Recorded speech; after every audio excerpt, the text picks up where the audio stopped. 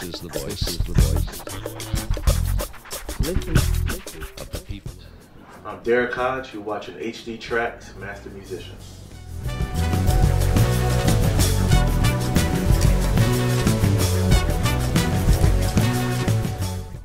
I became a bass player by my environment. I grew up, uh, I was born in Philadelphia, Pennsylvania, and my mother used to sing in the church choir at the same church as Patti LaBelle in Philadelphia, Beulah Baptist Church, and the bass player there, Joel Ruffin, was phenomenal. And I wanted to be just like him. She was taking me to church to keep me out of trouble, and it helped. It made me want to be a musician to the point that's the first thing I wanted to do in school. And I, I was like, enroll me, you know? And I was so small, I was, I think, seven years old to the point I had to start on guitar first because the bass was too big for my body. And then I switched over to bass and played in the orchestra, believe it or not, all the way through school, you know? And that's how I got involved.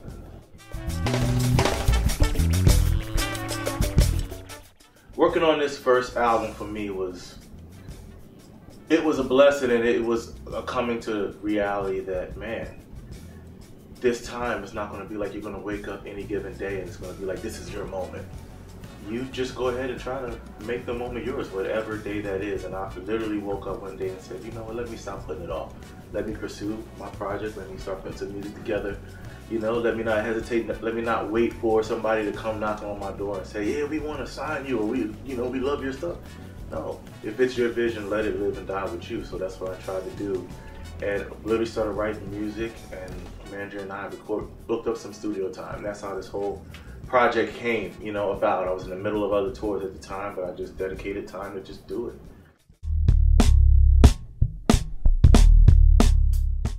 I recorded this album in New York City at Brooklyn Recording Studio um, with a good friend of mine and engineer Andy Taub. And it was really awesome the way it worked out. Like all the musicians on the record, they're some of my favorite producers and musicians, period, and artists. And they all happened to be in town at the same time. And they agreed to do it. And uh, I tried to write everything on the album that involved other instrumentalists beside myself. I tried to write specifically around their character, their spirit, the way they play the way they inspire me when I hear them. So each one of their parts, you know, was like really written for them. You know what I mean? So I'm happy that it came out the way it did.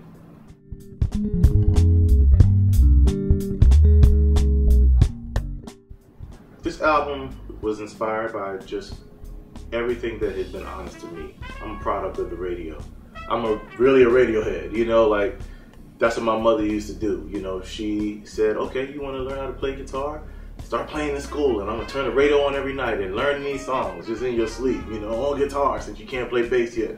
But just listen, listen, listen, you know, and through my life, that's been the constant for me, you know, just listening and I never had those pressures of ever having to sound like a specific person, you know, so later in life when I really got a little deeper and study and study other people, I was able to really check them out and not feel like I had to sound just like them, respect what they do but not disrespect them by trying to document their sound on tape.